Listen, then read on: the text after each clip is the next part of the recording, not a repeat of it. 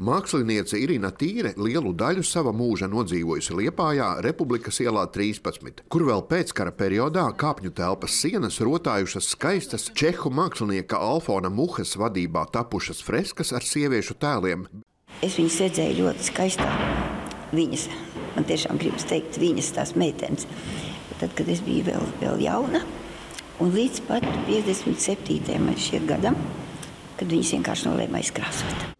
Pateicoties tam, ka 2011. gadā viens no Liepājas mākslas vidusskolas topošajiem absolventiem bija nolēmis savu diplomu darbu veltīt tieši šī nama freskām, arī tīrei radās iespēja atkal iekļūt tobrīd jau privatizētajā un slēgtajā namā, un tos fresku fragmentus, kas nekvalitatīvā balsinājuma dēļ bija atkal atsekti, iemūžināt fotografijās. Tā kā šīs freskas savulaik tapušas izmantojot reālu modeļu fotografijas, gadu gaitā dzima ideja veidot kopizstādi ar jaunāko mazdēlu dēlu Dāvidu Vidvudu Fominu, kurš fotografē sieviešu portretus. Viņi jau izmantoja to, ko viņi safotografēja, zīmēja un gleznoja modelis. Tāpat kā tagad vidūs viņas fotografēja. Ja?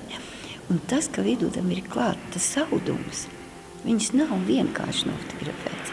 Viņš rada viņām tādu telpu kaut kādu. Ja?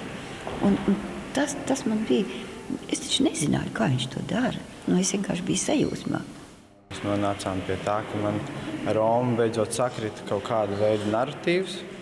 Un tad mēs diezgan ātri nonācām pie tāda kopsaucēja, ka ir jāveido izstāde. Bērnību mēs pavadījām ļoti daudz kopā, un es arī gāju uz visādiem mākslas pasākumiem, kur tika tieši šī konkrētā mākslas sfēra attīstīta.